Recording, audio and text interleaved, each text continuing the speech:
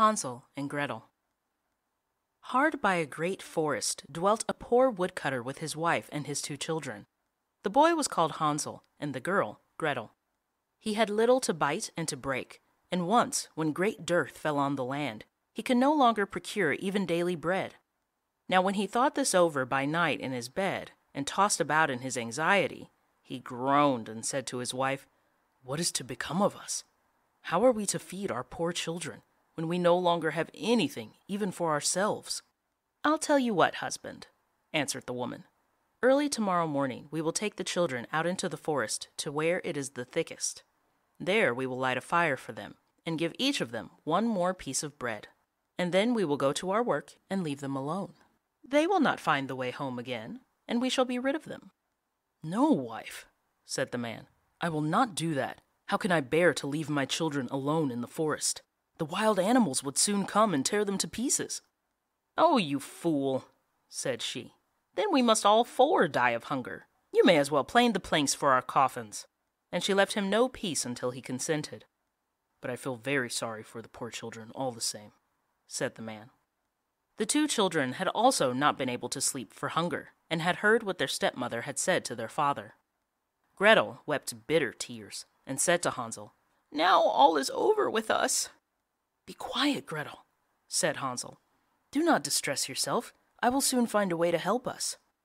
And when the old folks had fallen asleep, he got up, put on his little coat, opened the door below, and crept outside. The moon shone brightly, and the white pebbles which lay in front of the house glittered like real silver pennies.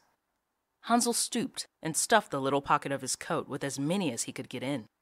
Then he went back and said to Gretel, Be comforted, dear little sister, and sleep in peace. God will not forsake us. And he lay down again in his bed.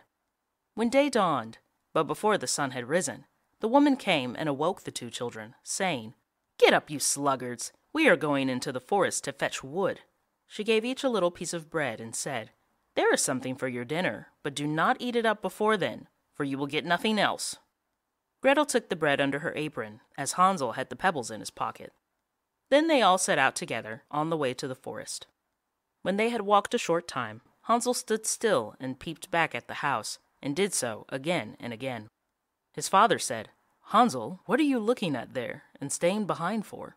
Pay attention, and do not forget how to use your legs.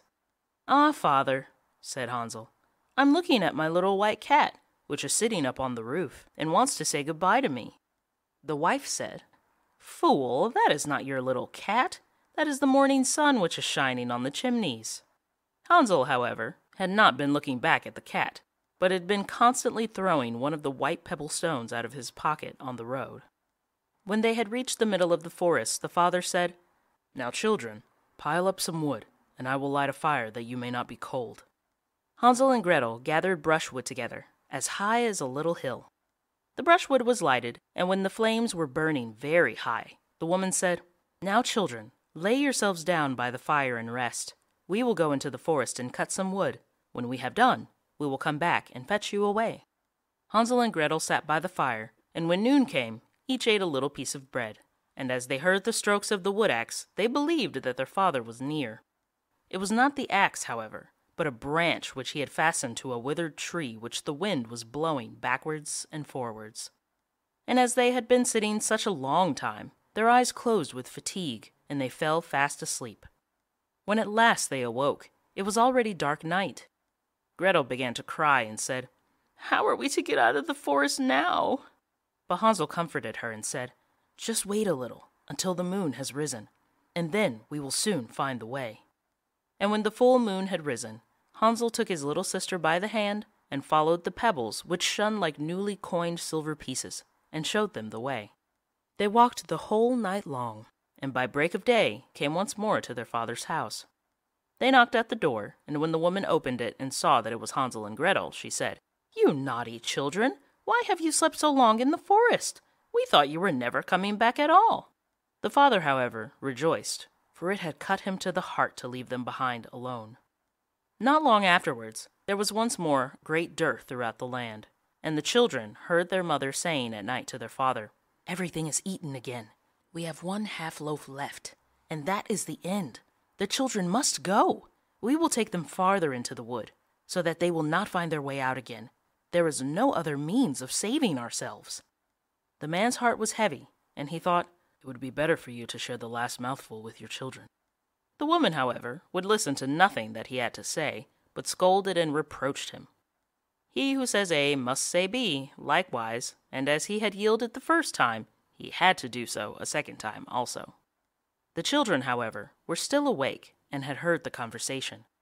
When the old folks were asleep, Hansel again got up and wanted to go out and pick up pebbles as he had done before, but the woman had locked the door, and Hansel could not get out.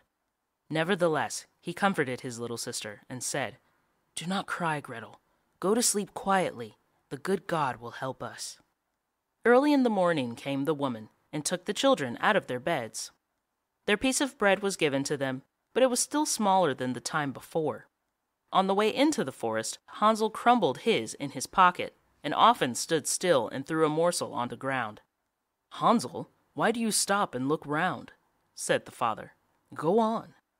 I am looking back at my little pigeon which is sitting on the roof and wants to say good-bye to me, answered Hansel. Fool, said the woman. That is not your little pigeon. That is the morning sun that is shining on the chimney. Hansel, however, little by little, threw all the crumbs on the path. The woman led the children still deeper into the forest, where they had never in their lives been before. Then a great fire was again made, and the mother said, Just sit there, you children, and when you are tired, you may sleep a little. We are going into the forest to cut wood, and in the evening, when we are done, we will come and fetch you away. When it was noon, Gretel shared her piece of bread with Hansel, who had scattered his by the way. Then they fell asleep, and evening passed, but no one came to the poor children. They did not awake until it was dark night, and Hansel comforted his little sister and said, Just wait, Gretel, until the moon rises, and then we shall see the crumbs of bread which I have strewn about. They will show us our way home again.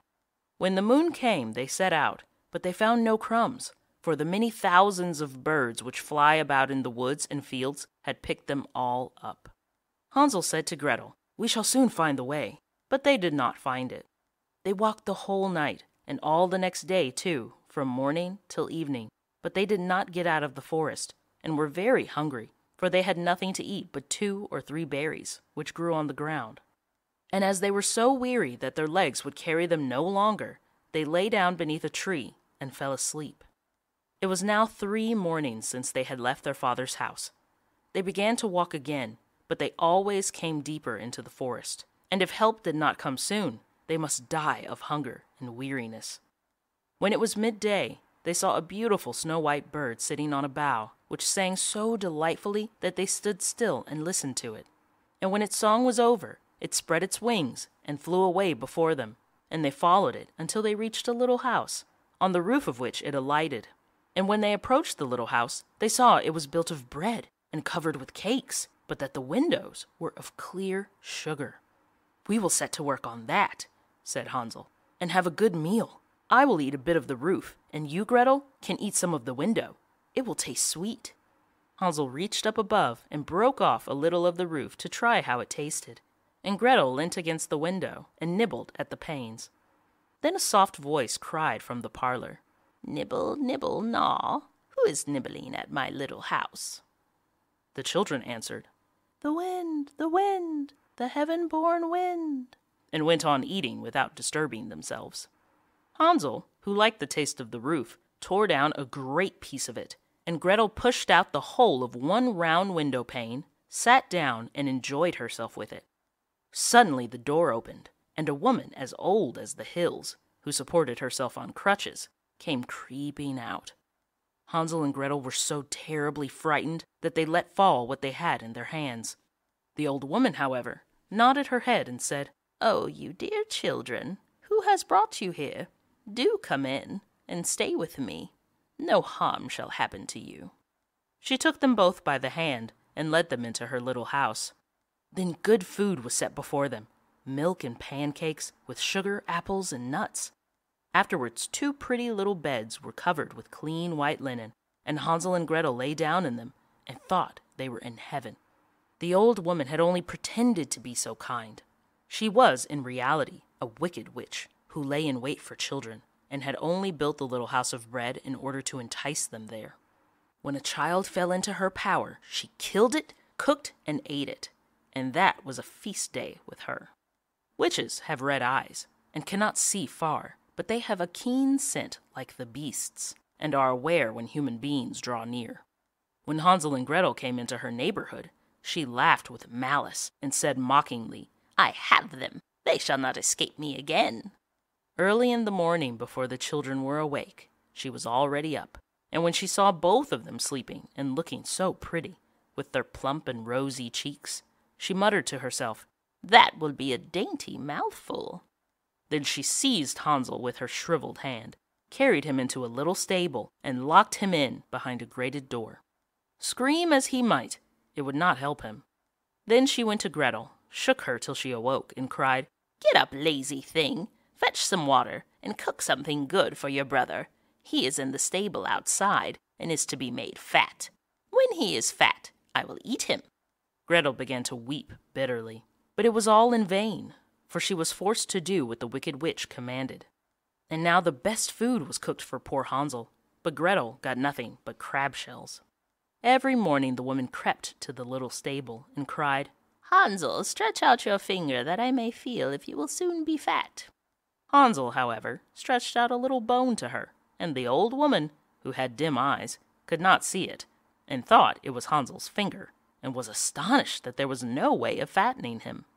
When four weeks had gone by, and Hansel still remained thin, she was seized with impatience and would not wait any longer. Now then, Gretel, she cried to the girl, stir yourself and bring some water. Let Hansel be fat or lean. Tomorrow I will kill him and cook him. Ah, how the poor little sister did lament when she had to fetch the water, and how her tears did flow down her cheeks. Dear God, do help us, she cried. If the wild beasts in the forest had but devoured us, we should at any rate have died together. Just keep your noise to yourself, said the old woman. It won't help you at all. Early in the morning, Gretel had to go out and hang up the cauldron with the water and light the fire. We will bake first, said the old woman. I have already heated the oven and kneaded the dough. She pushed poor Gretel out to the oven, from which flames of fire were already darting. Creep in, said the witch, and see if it is properly heated, so that we can put the bread in. And once Gretel was inside, she intended to shut the oven and let her bake in it and then she would eat her too. But Gretel saw what she had in mind and said, I do not know how I am to do it. How do I get in? Silly goose, said the old woman. The door is big enough. Just look, I can get in myself. And she crept up and thrust her head into the oven. Then Gretel gave her a push that drove her far into it, and shut the iron door, and fastened the bolt. Oh, then she began to howl quite horribly, but Gretel ran away, and the godless witch was miserably burnt to death.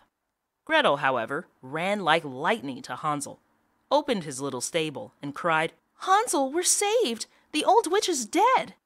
Then Hansel sprang like a bird from its cage when the door is opened. How they did rejoice and embrace each other, and dance about and kiss each other! And as they had no longer any need to fear her, they went into the witch's house, and in every corner there stood chests full of pearls and jewels. These are far better than pebbles, said Hansel, and thrust into his pockets whatever could be got in. And Gretel said, I too will take something home with me, and filled her pinafore full. But now we must be off, said Hansel, that we may get out of the witch's forest. When they had walked for two hours, they came to a great stretch of water. We cannot cross, said Hansel. I see no foot plank, and no bridge. And there is also no ferry, answered Gretel. But a white duck is swimming there. If I ask her, she will help us over. Then she cried, Little duck, little duck, dost thou see? Hansel and Gretel are waiting for thee. There's never a plank or bridge in sight. Take us across on thy back so white. The duck came to them, and Hansel seated himself on its back and told his sister to sit by him. No, replied Gretel, that will be too heavy for the little duck. She shall take us across one after the other.